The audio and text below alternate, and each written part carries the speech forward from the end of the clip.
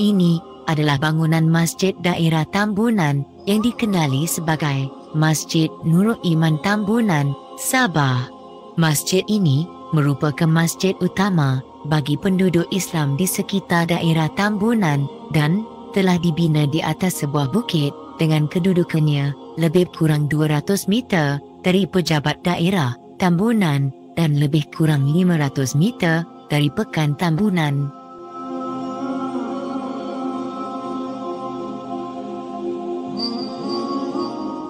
Dengan kedudukan yang berhampiran dengan pejabat daerah dan pekan Tambunan, maka secara tidak langsung akan memudahkan penduduk sekitarnya untuk ke masjid ini bagi menunaikan ibadah sebagai seorang Islam yang beriman dan bertakwa.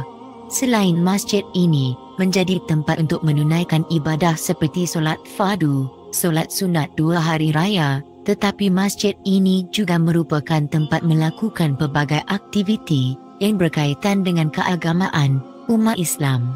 Pada ketika ini, pengurusan pentadbiran Masjid Nurul Iman Tambunan adalah masih berada di bawah Jabatan Hal Ehwal Agama Islam Negeri Sabah.